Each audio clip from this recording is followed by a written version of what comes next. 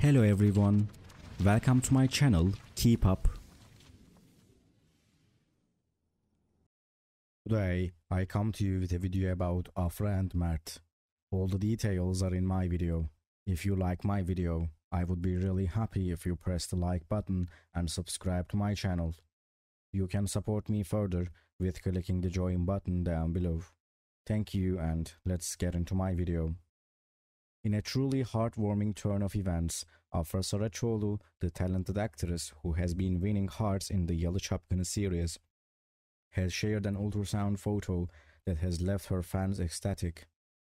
Alongside her, her on-screen partner Mert Ramazan Demir has shared the exciting news, setting the internet abuzz. It is not Afra herself but the character she portrays, Seyran, who is expecting a bundle of joy.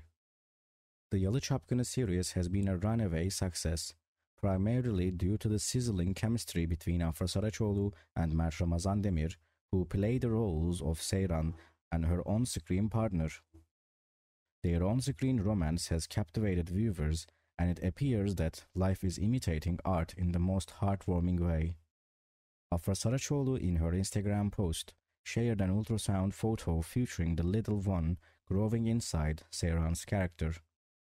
The photo instantly garnered thousands of likes and comments, with fans expressing their joy and well wishes.